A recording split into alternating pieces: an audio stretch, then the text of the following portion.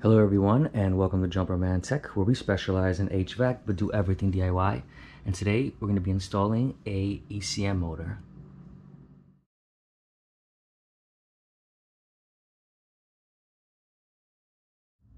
Thank you to everyone tuning in to Jumperman Tech. So we got the toggle switch off. Let's begin by taking off the access panel.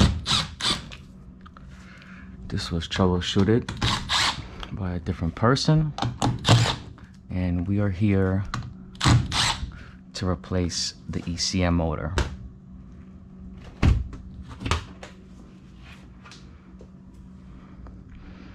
All right, this is it. Okay, so it's a couple screws on top and we can slide this whole housing off. So the control panel is right here. Alright.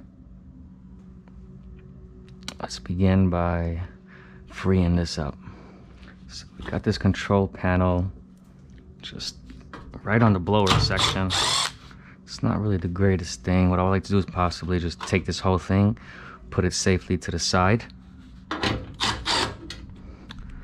And just make as much room as we can without having to disconnect so many wires.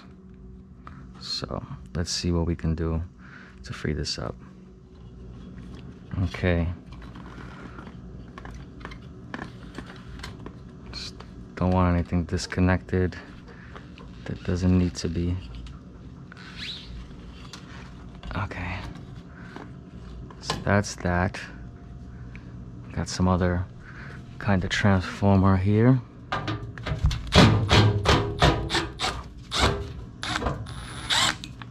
Let's free that up as well.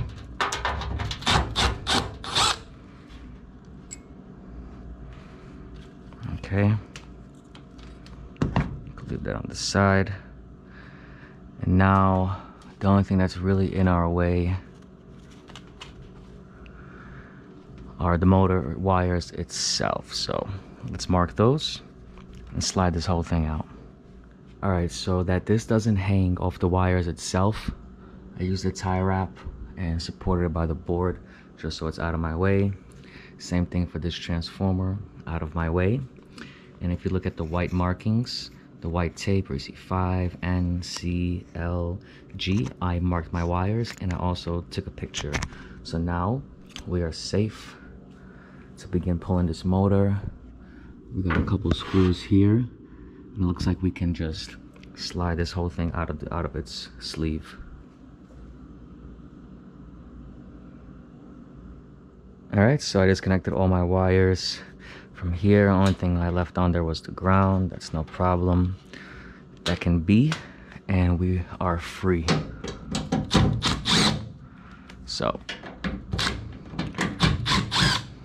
let's get this thing out of here. I should be able to just pull this out right now.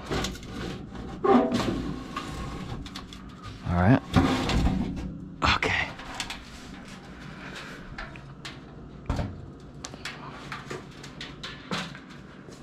Here's our motor. Okay, so here's the opposite end of the motor. This piece is our shaft. We're gonna take some sandpaper and sand down the shaft as best as we can before removal. Alright, we sand it down down pretty good. And from here we have that one nut. Once we loosen that, actually that's a bolt. Once we loosen that bolt, that's what's gonna free up this fan blade from the motor shaft. Okay.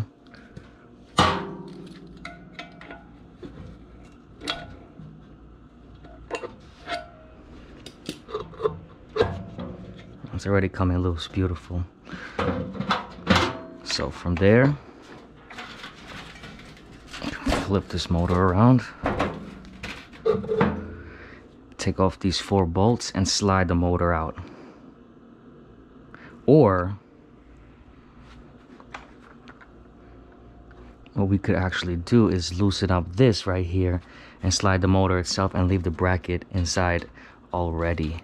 I'm gonna try to loosen up just the bracket itself see if I can pull this motor out.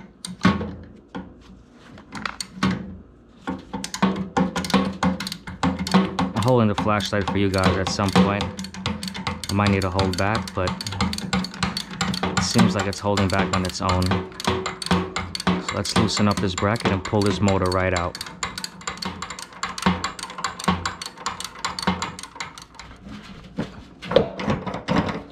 It's loose.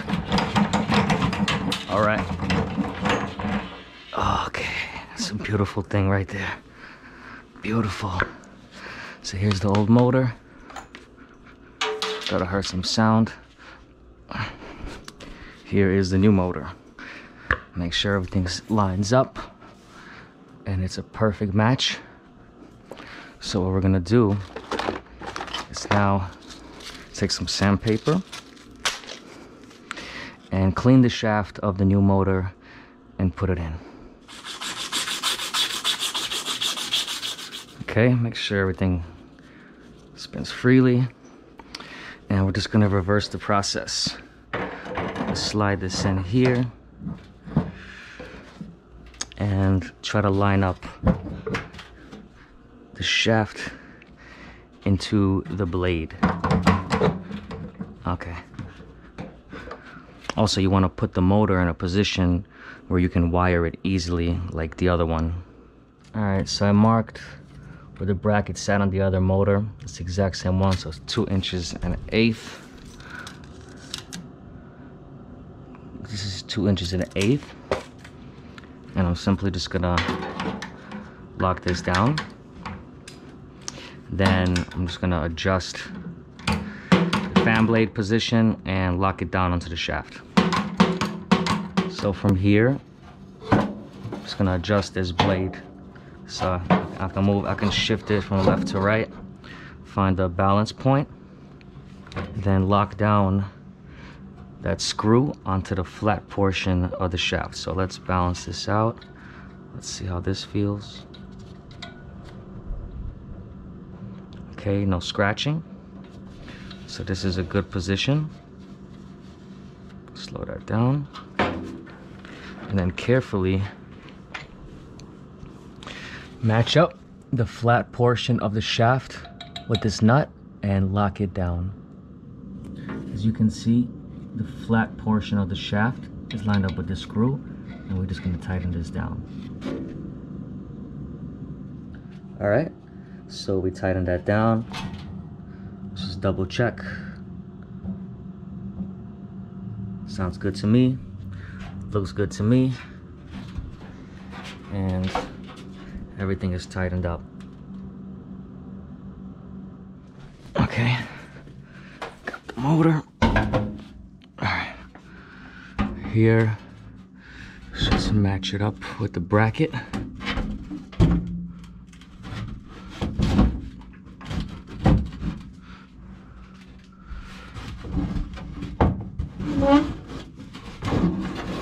Slide it back in. All right. Whew. Put our screws back in. And make our connections.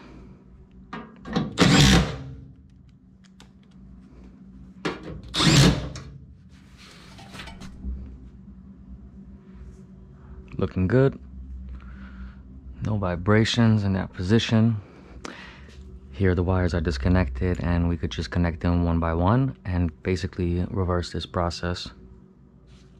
Okay, I just followed my labels, wired them back just how they were.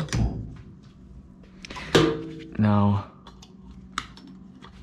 just gotta put everything else back into its original position. So, let's mount this and continue.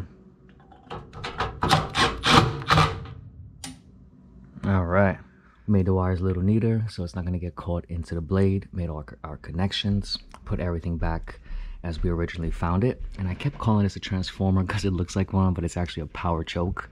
This is the transformer. All right, that did the trick. Changed the motor, everything is good. We have the correct rotation. We made the wires neat. Made sure nothing's gonna be in the way of hitting that fan blade. And it is specifically a squirrel cage fan blade. And that was pretty much it. We're gonna go pull this pull switch back into the condensing unit and just pretty much check um, the overall operation of this unit. But that is how we're gonna be replacing that ECM motor. Well, ECM, the M stands for motor, but I still say ECM motor. if anybody found this video interesting or helpful, please drop a like, comment, and subscribe. And I'll catch you all next time.